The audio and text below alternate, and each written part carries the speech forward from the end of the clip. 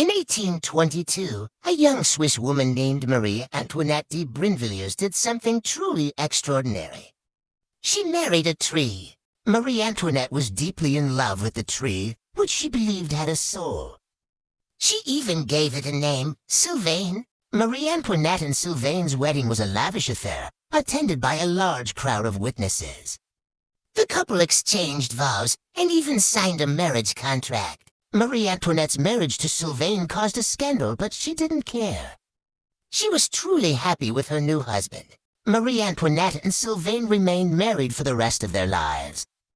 They lived together in a small cottage near the forest, and Marie Antoinette would often visit her husband and talk to him for hours.